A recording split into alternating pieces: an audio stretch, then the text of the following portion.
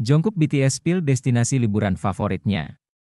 Dalam wawancara dengan Calvin Klein, Jungkook juga membeberkan olahraga favoritnya belakangan ini.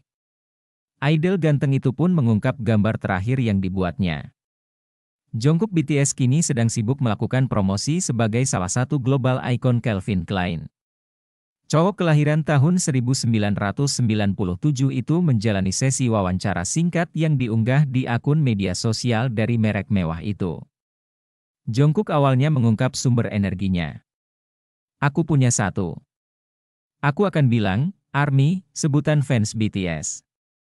ARMY menjaga tenagaku tetap hidup, ungkap pelantun lagu, Dreamers, itu dengan senyuman manisnya. Jungkook lantas membeberkan olahraga favoritnya belakangan ini.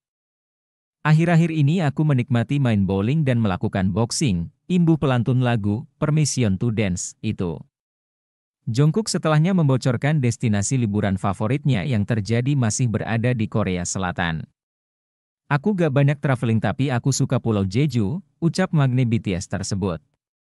Terakhir, Jungkook mengungkap gambar terakhir yang dibuatnya. Kurasa aku menggambar sesuatu yang aneh.